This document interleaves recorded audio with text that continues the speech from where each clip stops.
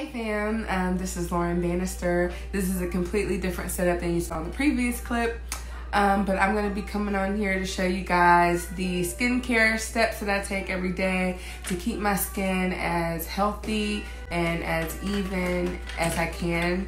Um, I often get questions in person asking me, oh my gosh, how do you keep your skin so clear? So I decided to make a video about it to share it with you guys. So today I'm gonna be using the Mary Kay Timewise Miracle Set. Um, you're gonna have the cleanser, the moisturizer. This is a night moisturizer and an eye cream. So I have these Mary Kay makeup remover wipes. Literally all you do is you just add water to it and boom, you got some nice suds. So it doesn't have alcohol in it. That's why you can wet it with water. And then you go ahead and remove your makeup.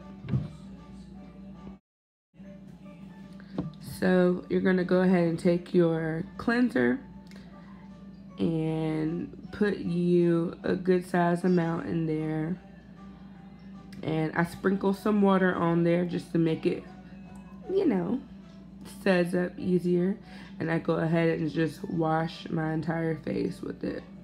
This cleanser has exfoliant beads in it, so it gently exfoliates as you wash your face.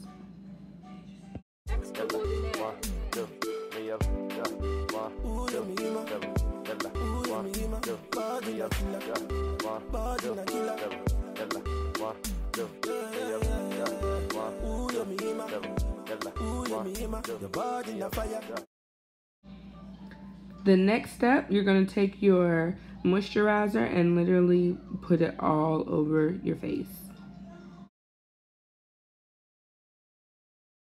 Then you're going to take your eye cream. I use my ring finger because it's the most delicate and I rub in the eye cream underneath my eyes. Hey guys, I hope that you enjoyed this video. Hopefully it's helpful to you guys.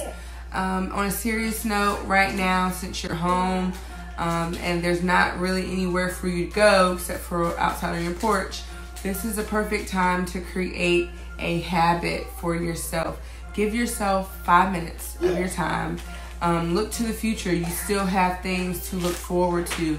So go ahead, excuse me, and work on your skin so that it could be popping when it's time to go outside. Bye, Rona, right? So go ahead and create this um, habit now.